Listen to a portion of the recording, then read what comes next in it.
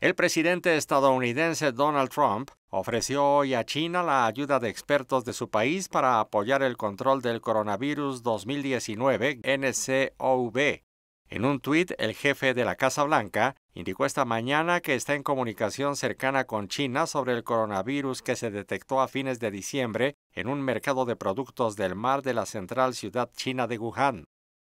El mandatario agregó que muy pocos casos se han encontrado en territorio estadounidense y agregó, Hemos ofrecido a China y al presidente Xi cualquier ayuda si es necesaria. Nuestros expertos son extraordinarios.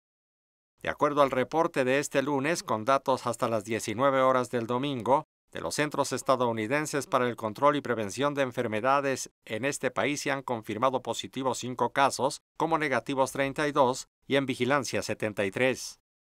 La propagación del 2019 NCOV ha repercutido económicamente, provocando menos operaciones aéreas y baja en el flujo turístico, lo que este lunes mantenía deprimidos a los mercados bursátiles con ligeras caídas en las acciones de Apple, Disney y Nike debido a sus operaciones en China.